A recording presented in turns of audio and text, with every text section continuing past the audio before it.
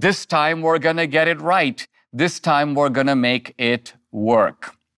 Here is an ideology that was tried in 25 countries in the last century, collapsed in every one of them. The big countries, Russia, China, India, all jettisoned socialism.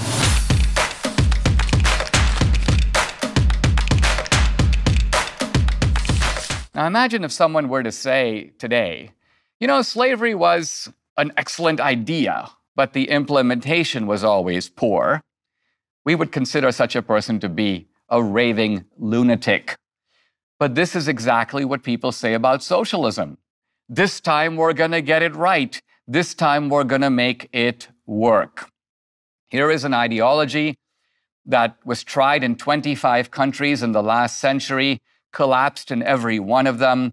The big countries, Russia, China, India, all jettisoned socialism. So, how is it possible that this crazy, whacked out scheme could not only make its way into the mainstream of American politics, uh, worm its way ultimately to the Democratic Party, uh, and come really into the American bloodstream for the first time in our country's history. Now, the socialists will say, uh, we are developing here in America a new type of socialism. First of all, it's not authoritarian socialism, it's democratic socialism.